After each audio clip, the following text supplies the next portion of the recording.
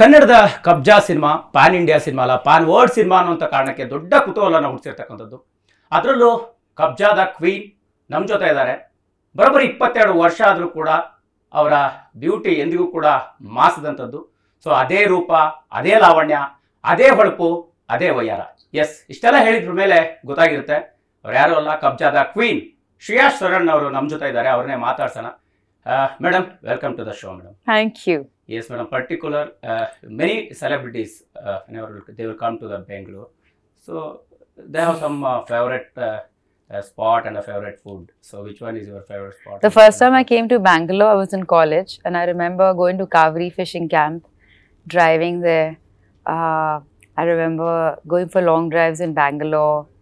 I, back in the day, Empire was famous. Everyone went there to eat, and uh, but uh, now there's such lovely places. There's socials here, which is owned by a friend of mine.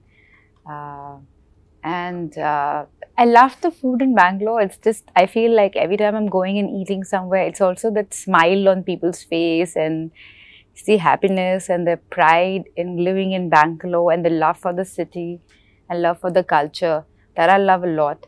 Uh, my favorite, favorite, favorite when I was shooting for for my sec- Kannada film, we were shooting in Mysore and we used to go in the night and eat Mysore dosa. It's uh, still my favorite. Every time I come to Bangalore, I always ask for Mysore dosa, masala dosa.